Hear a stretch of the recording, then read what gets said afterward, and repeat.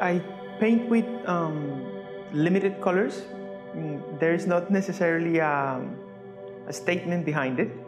Um, I've been extremely lazy my entire life. I always find the most practical and pragmatic way to do things. And, and I think simplification is a form of wisdom. So I've found uh, the colors in, through which I can express what I want with the least effort. And that makes me a, a, a very fast painter and I'm very um, impatient.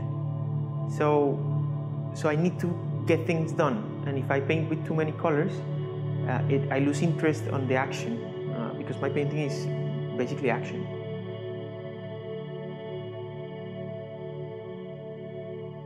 Mm, I nail the drawing and I nail the tonality. The, the color, since I paint from photographs, uh, it doesn't matter how good the, the camera is, it will never capture the color as my eye would. So my intention is not to capture the color as it is. My intention is to capture that moment, that, that essence, that, that the structure of that person, uh, and then let it go away.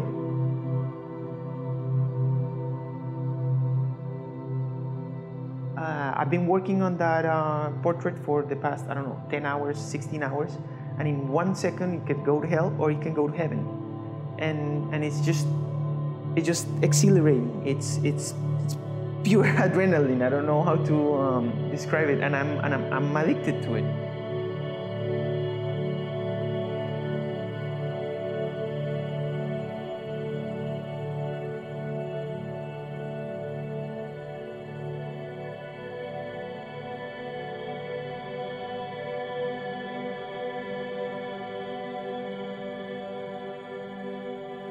This is the most respectful way in which I can uh, approach a human being and depict him.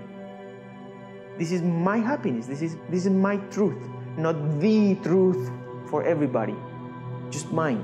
And I think if, as humanity, if we are respectful, we will come to this uh, message that Jesus, Mahoma, Zoroaster, all the religious avatars, they have always said the same just respect and love each other. And I think if, if we achieve that, I- think we'll be a better species. So, so, so I find my painting to be respectful.